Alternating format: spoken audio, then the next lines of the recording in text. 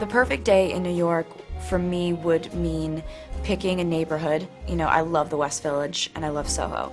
And you just meander and you just explore. The cool thing about New York is you don't necessarily have to pick an exact destination, you just have to pick a general area.